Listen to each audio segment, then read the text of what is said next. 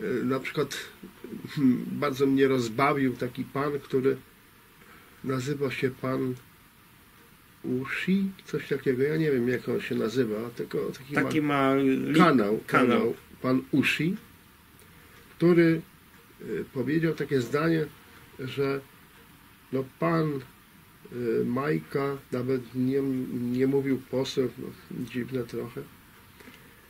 E, To jest taki naturszczyk, jak to on użył. Stara szkoła z 1990 roku.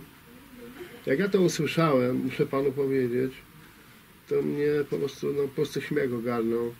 Myślę sobie, człowieku, nawet nie masz bladego pojęcia, o kim mówisz, nie znasz mnie, nigdy w życiu o mnie nie słyszałeś, bo te, teraz może dwa, trzy tam e, wywiady zobaczyłeś i się wypowiadasz na temat człowieka, który, który zrobił e, może więcej niż, niż on ma lat.